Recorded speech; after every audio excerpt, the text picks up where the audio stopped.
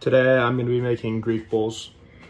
All right, when making the tzatziki, these are the ingredients. Greek yogurt, I have some uh, garlic right here, some grated English cucumber, some dill, red wine vinegar, salt, garlic powder, and olive oil.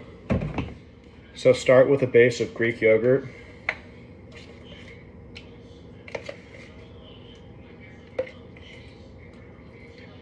How much you put in is depending how much you want to make. Next, add your grated English cucumber and your grated garlic and mix. Next, add the dill, the red wine vinegar,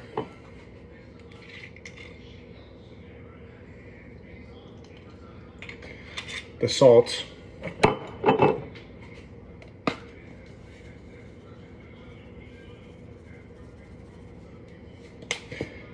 and the garlic powder.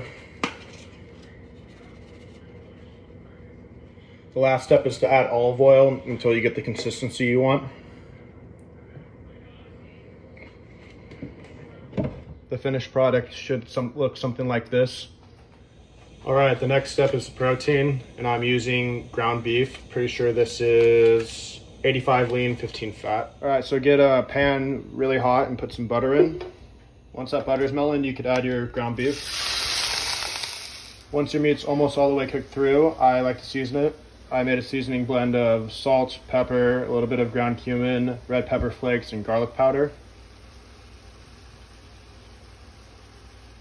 All right, one of the last steps is to get the toppings ready. Uh, I have some English cucumber right here, some red onion, some balsamic glaze, and some feta.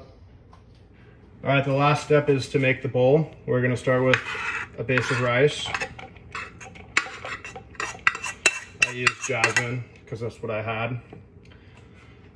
A next step is to put your protein in.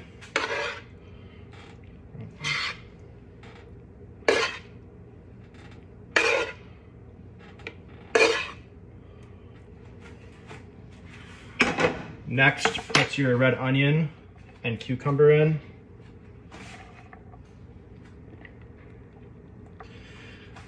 Then put some feta on top. Drizzle some balsamic glaze over.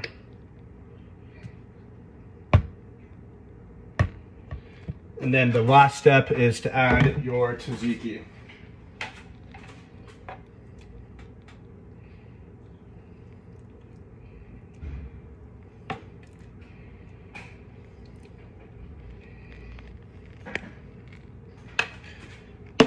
And this, uh, this is it, the final product.